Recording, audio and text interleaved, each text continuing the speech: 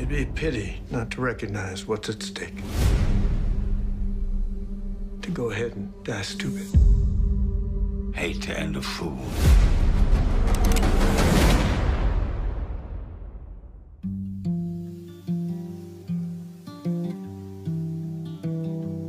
It's a pleasure to see you again. Must be my lucky day. Considerable time since seeing you.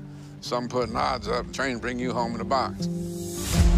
The senator from the great state of California, George Ambrose Hearst. You murdering, thieving cocksucker.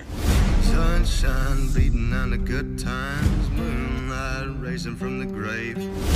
Outlier Deadwood days are over. Walk with the future. Hearst won't take long before he honors the rigors of his putrid fucking nature.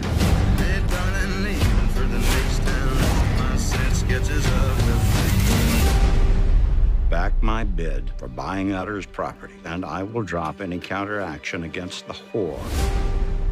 Moving us from the center of town, away from danger. I hate running from him, Sol. If it ain't for Hearst to follow the law, why the fuck should it be for you? My job ain't to follow the law, Em. My job is to interpret it. I'm not made for such complexity.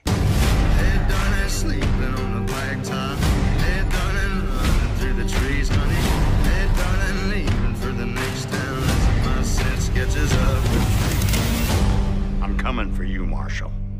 Expect you will, Senator. Lesson my sense catches up with.